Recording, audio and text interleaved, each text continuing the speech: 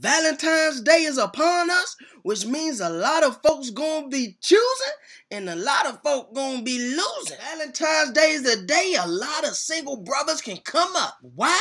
Because a lot of sisters gonna be looking for affection. So all you got to do is get hold of some protection and get it in. But there are certain guidelines you gotta abide by. Number one, if she ain't your official girl, don't take her out. Do you really want your pockets to be at the mercy of a sister that you ain't even sure is going to be down with the get down at the end of the evening? I don't think so. Hell, she might not even like your ass. She probably just lonely, hungry, and in between checks. Fellas, Valentine's Day is the day you can swindle your way out of the friend zone.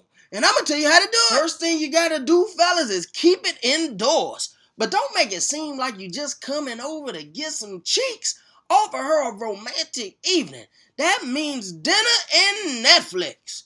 And by dinner, I mean spaghetti. Now, here's the trick bag. You just don't bring spaghetti. You need two more elements, and that's the wine and the hard liquor. See, the alcohol is key because it gives you the opportunity to see where her head is at. Now, if she reach for the wine, you know you gotta take your time. Cause if she reach for the wine, that means she just chilling.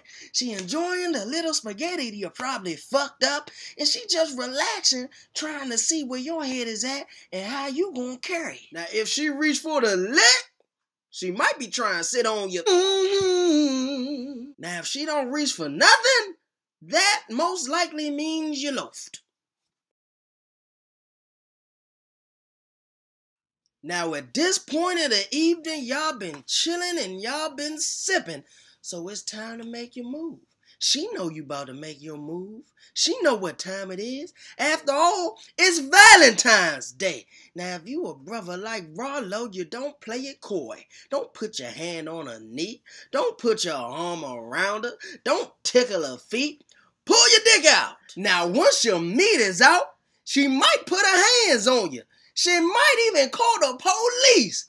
But there is that chance that both of y'all could be spending Valentine's Day the way it was meant to be spent.